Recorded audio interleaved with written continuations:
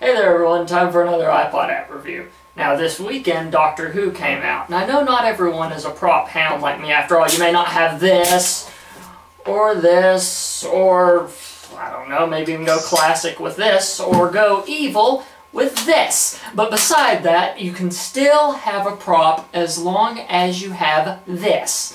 And that's what I'm covering this week, Sonic Tool on iPod app reviews.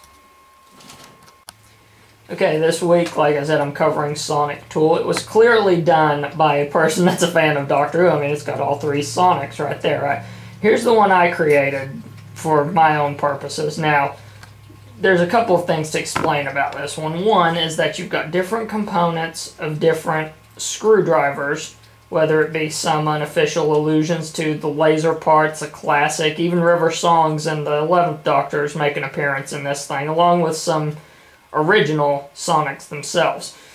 There's also graphic options and stuff like that, but I'll go into that in a bit. And here's where you change it with visual effects, which has got a whole roll of visual effects that you can have come from the tip. And then it's got everything from the original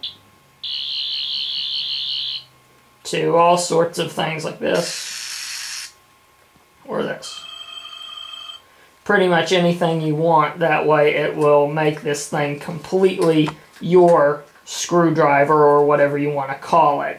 Um, it's got, I think the thing said over 5,000 possibilities when you combine all of them together. So, whenever you get here, like with my screwdriver I've made here, you can change the effect by moving it up and down on the actual screwdriver itself. So increase the pitch and range here and lower it by dragging down.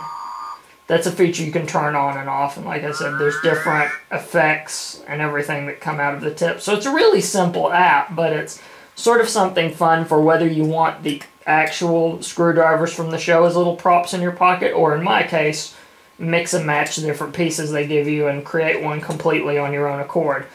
So that's a simple tool for a Doctor Who fan. Sonic tool, that is.